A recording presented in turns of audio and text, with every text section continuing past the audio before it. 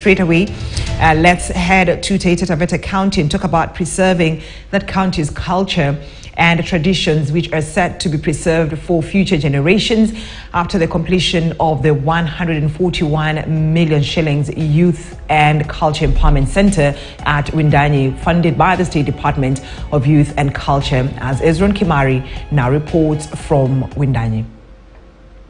Well, the State Department of Youth and Culture is said to construct a youth and culture center uh, here in Hundanyi. The center will comprise all the activities that the youths uh, will be uh, looking at and will be getting an opportunity to hear some of the sentiments by the leaders here, led by the administrative secretary from the State Department of Culture. Haitafaa tujenge majengo peke yake hapa alafu vijana wakose kuwajibika, vile DCC alikuwa anasema hapa.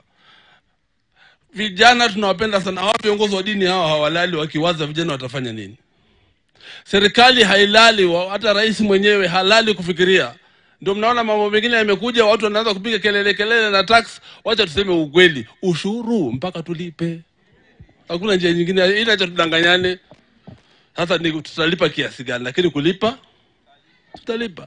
Na kama hao vijana wetu hawana kazi, wanaishi maisha hohehahe, mimi sitaki kuwa mmoja wa wale walipita ati ni mtu ya kanisa. Kama shilingi yangu tano ndio itafanya hawa vijana waandikwe kazi, hewala, nitafanya hivyo, kwa sababu ni wengi wanatuuma kuona nje, nasi pia tuko na watoto. Sema huu ni wizi mtakatifu. Vijana wametumia akili hawa kuliko kupiga mtu ngeta. kwao vijana mpaka na sisi tujitume hata tukafuta wafanyikazi wote wa serikali na jeshi na polisi, bado nafasi za kazi hazitoshi. Huo ndio ukweli wa mambo, mpaka tutafute mbinu mbadala, na ni hii mambo ambayo tunafungua hapa. Tuwe na kitu tunaitwa stand up comedy, hata kwa shule siku hizi Unajua tunapatia mtoto yule smart sana zawadi, yule anakuwa number one. Nataka hata yule mwenye sarakasi zaidi sasa aweze kupewa zawadi.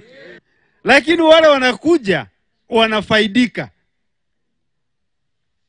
Ndugu zangu, msiogope ofisi zetu. Siku hizi hakuna ofisi nzuri kama ofisi yetu. Kitambo ungepata DC, lakini saa hizi ukienda, unasikia vile mheshimiwa wetu anasema, Mwashako, unakuja tunakunywa chai. Nikikuuliza unataka nikusaidie namna gani? Wale wameweza kufika kwa ofisi yangu huwa wanafaidika. zile ngange wa Masai wanaotengeza kama hamjajua, mtu watu waliotengeza ngange wa kwanza Kenya hii alikuwa ni Mtaita, na zetu zilikuwa za maana sana. ama Nasema uongo? Zetu zilikuwa nzito, nzuri, za kupendeza, lakini kwa sababu ya hali yetu tunaacha utamaduni, tuka nasamea kusema hiyo wachungaji, tukaokoka sana, tukaona kama hata ngange, ngange ni mbaya.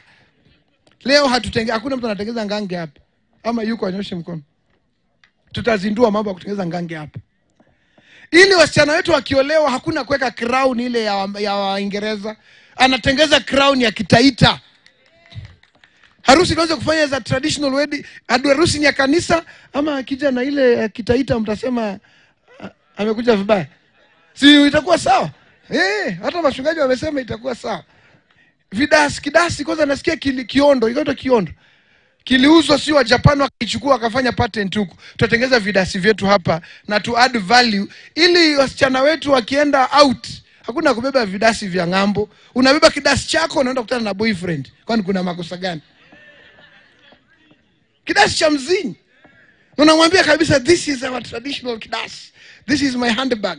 PS alisema kunaweza labda kukafika mahali county government itahitaji kutoa pesa kushika mahali pengine, kwa sababu alisema kuna pesa inaitwa ya operation sio operation ama kitu. Kwa hivyo tusha discuss na governor amesema hiyo isikuwe na worry hata kidogo, kwa sababu ni mradi wetu, ni mradi wa county, ni mradi wa benefit watu wote Taita na Taveta. Tudumishe utamaduni.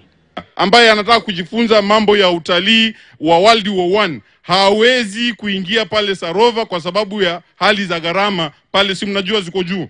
Kwa hivyo tunataka na sisi tuweze kuwa na museum yetu. Kwa hivyo hii sehemu ama mradi huu utaenda safari ndefu sana kuhakikisha ya kwamba wananchi wa kawaida ambaye ni Mtaita ambaye anaishi hapa pamoja na wale watu wengine wa nje tungetaka waje mali hapa wataweza kupata nafasi ya kuja kujifunza utalii wetu. Na wakati tunapofanya hivyo, pia tutafute mbinu nyingine ya kuweza simil- kuweka similar centers hata kule Taveta na Voi, ili iwe rahisi kwa wananchi wa Taita na watalii kwa ujumla waweze kutembelea hizi sehemu. Well, as you have heard from the leaders, they are saying indeed this particular facility, when it will be completed in three phases, uh, it will have costed a whooping 141 million and it will give an opportunity to many youth of this county.